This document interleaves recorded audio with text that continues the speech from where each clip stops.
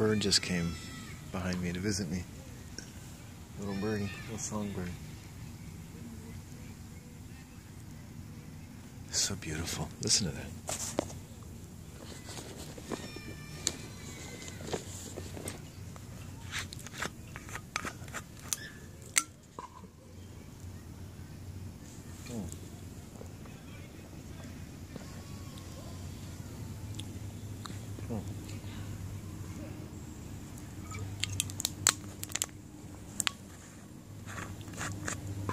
I love that. First drink after I've smoked a joint. The first drink of kombucha. I really enjoy that. I hang out with a lot of sociopaths or people that cross my paths, and I don't get to talk about like what I enjoy quite often because they don't care what I enjoy. Uh, they don't care much about me. That's okay. You know, except what I can do for them because they just seem to have this poverty about them. You know, they've had a hard time trying to build a basis for the whole development of their mind, their home, like what we have to live in the rest of our life. And I'd rather, you know, have a, little bit of low self-esteem or poor self-image. Quite frankly, I'm learning to live with it. Um, I think a certain amount of poverty. Obviously, I'm not abjectly poor. Um, in a very rank-oriented world, no matter where you live, um, is going to confer, if you're a sensitive person, I think a little bit of humiliation upon you, a little bit of shame, um, but humility as well. And so you, you watch a lot of people kind of take too much and dismiss too much and just not really pay attention to their environment. And, you know, they're not mean people, but uh, part of the definition of mean is just rough, rough around the edges. And uh, I really value and I respect the value, you know, that they have in what they've done in life. And it's an odd sort of irony, I suppose. I think of myself as rather a bit luckier than they are. But I don't delude myself in thinking that I'm the luckiest person, luckiest shit that ever lived. Um, but I would probably smile with inner satisfaction if somebody called me that. You know, I'd like to think I'm a lucky shit. Uh, I think there are lots of lucky people in the world. I think you're pretty lucky if you don't have to work some people might say, well, you know, you'll see, you'll see one day. and people have been saying that my whole life.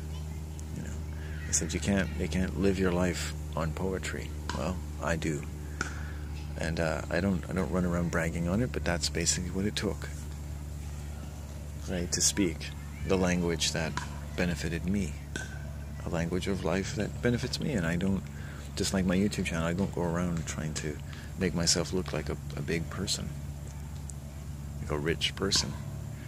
You know, I walk tall.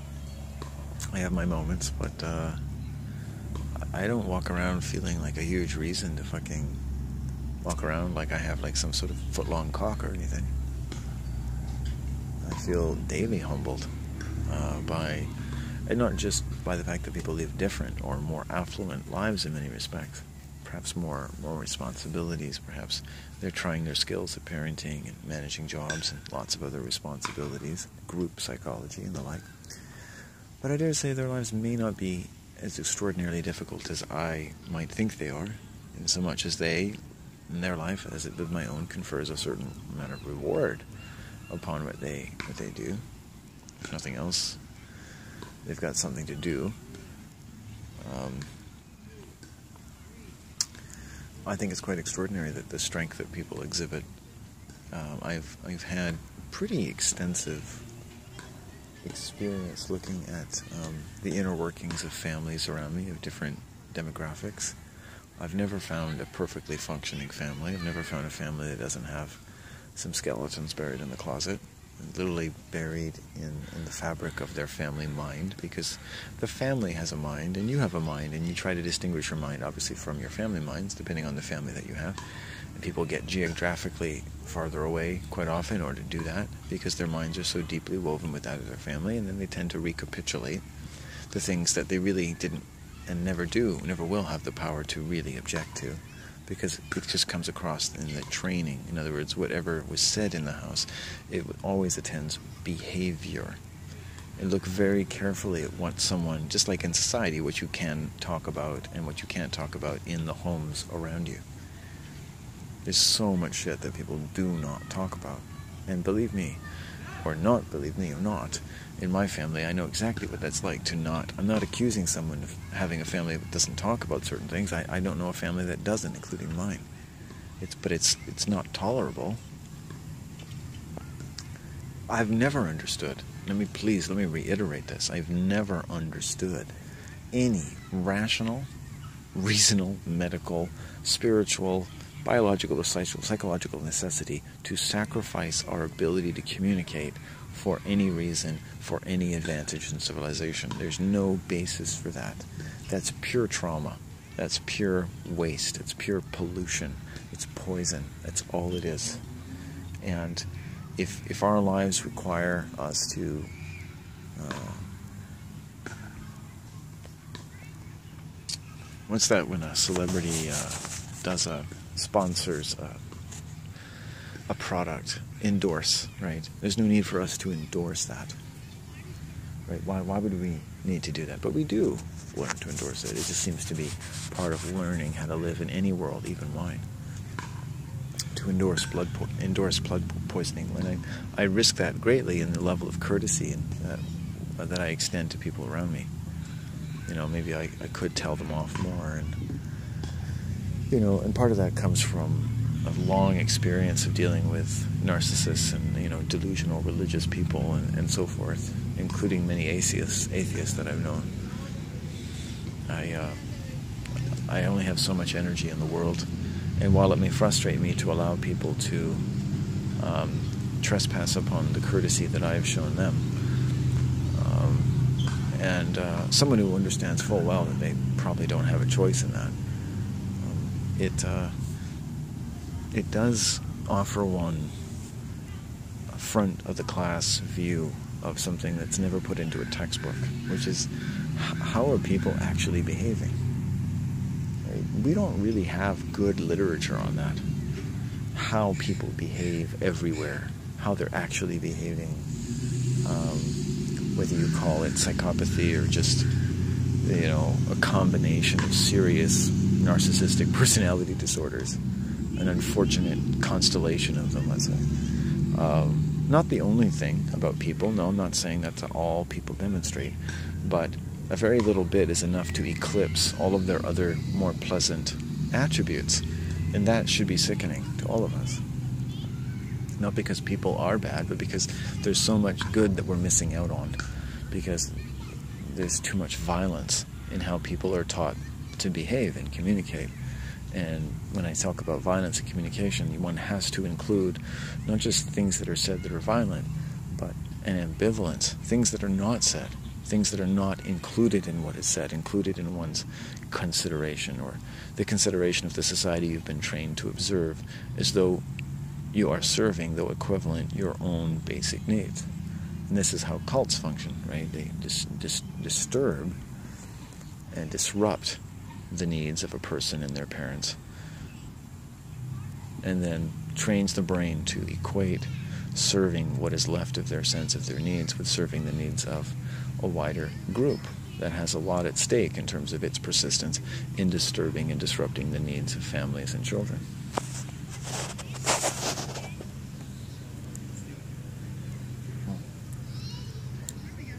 looks a little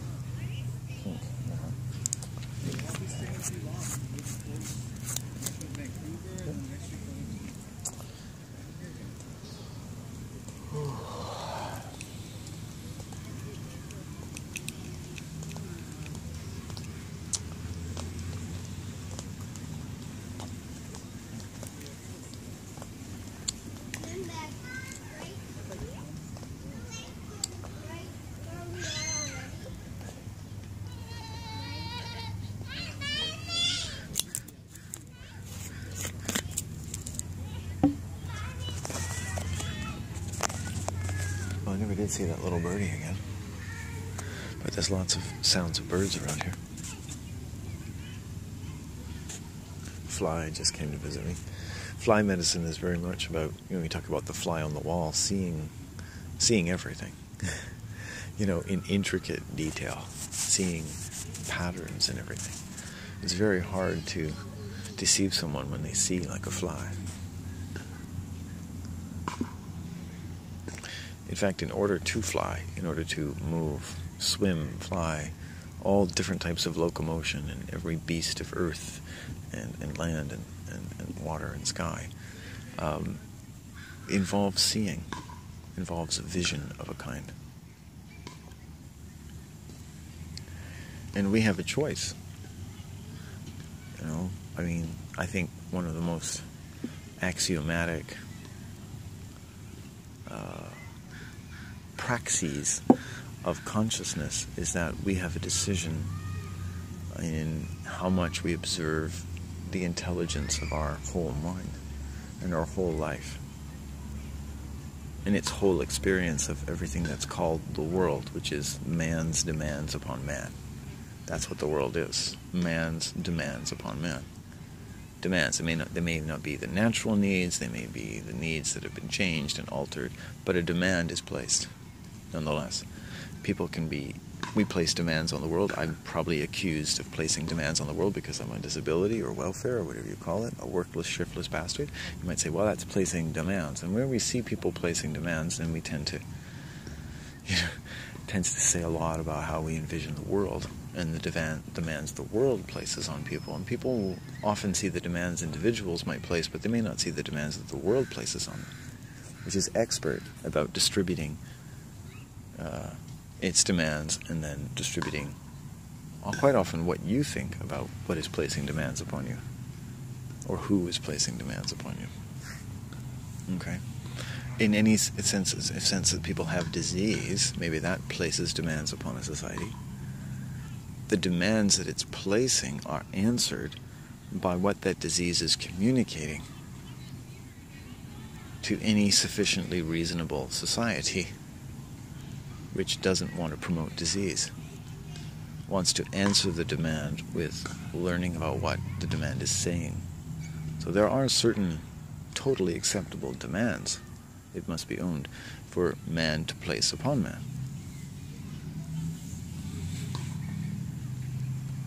People need things from us. Children will need things from us. And we need things from other people. And uh, there are people like myself who go without getting a lot of my needs met all of the time, or whose needs have become fairly minimal, and or um, having not been met or not met clearly socially. I don't think I could ever make the argument that my needs are being met socially. I mean, that's one of the easiest things I could say about myself. Um, I nonetheless compensate with uh, having a relationship with my environment and quite frequently throughout my life romantic literature, mostly that written by myself a romantic orientation to life, classical romantic orientation to life. It's just in my blood.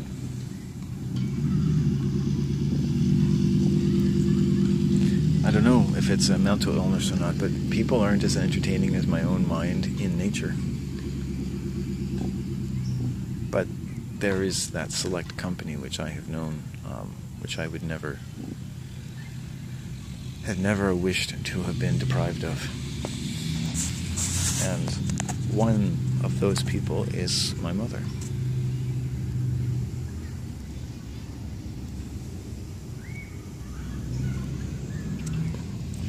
You know, of all the older people that I know, my mother is the coolest person that I know, and thankfully she's not terribly religious. You know, she, uh, I try her patience. you imagine what she has to listen to if you've watched any of my videos.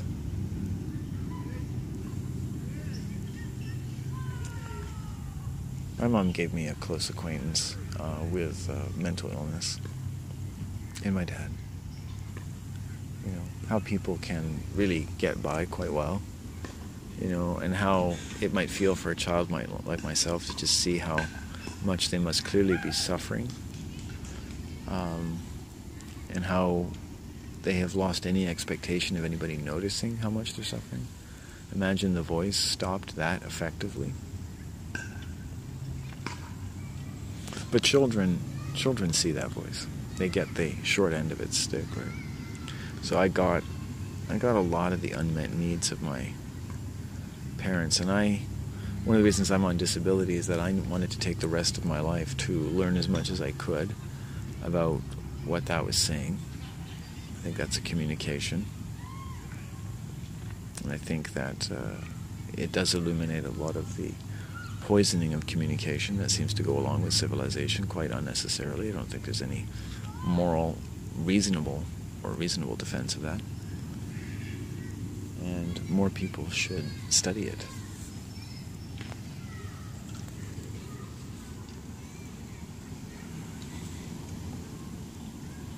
More people are every day are confronted by it. They may call it many different names. They may call it the, the demon Lord Sith. They may call it uh, just the way people are. Maybe the way the brain evolved. They may call it original sin. They may call it uh, just stupid, malicious, fill in the blank um, minority group of choice or white people, which, you know, I've had a run in with white people today. White people have been trained to take what they need. They take what they need, and they've taught everyone else in the world to do the same. Just take. Just take, take, take, take, take what you need. Of course, you got to get out there, take what you need. Or no, I didn't take anything. No. People on welfare, they take things. We don't take anything. We made our money all by ourselves, even though we can't make money. We don't rely upon nature. We don't rely upon other people. We don't want to know how we rely upon people. Oh my God, how we rely upon one another. How we rely upon one another. Do we not? You know? Don't we all have to do our part to keep up the charade of civilization? Isn't it really just an act? Isn't its entire power, its electrical fucking force, kept up with an act? With a certain amount of leisure de? Isn't it? Isn't that really what we're complaining about here? If we could just frack into that and stop acting. Stop acting just be the animal that we are.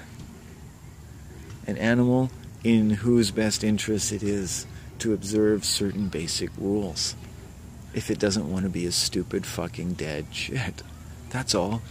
And I think most people could figure that out quite well without being abused. Oh, we think we're so good at communicating the rules and how to live that those who don't seem to enjoy life so much can be attributed with a failure and not an adequate and honest expression of how society actually feels to people, some of whom might be reasonably supposed to have just not not be exhibiting the same fucking symptoms. Some of which are considered highly socially rewarding and profitable, and many of which are not. And people have long since given up trying to figure out who the fuck made decisions as to what would be what, which is which. And somewhere along the way, in childhood and growing up, I guess we give up fucking complaining about something we don't even know how to give words to, which is that a lot of the fucking word is, world is A, needlessly painless, and B, needlessly arbitrary. Right? And not according to you. It's made up. It's just made up shit. We're worshiping people's mental garbage. Ugh, gives me, makes me tense just thinking about it. I'm gonna go untense. Thanks for putting up with me slash world for as long as you have.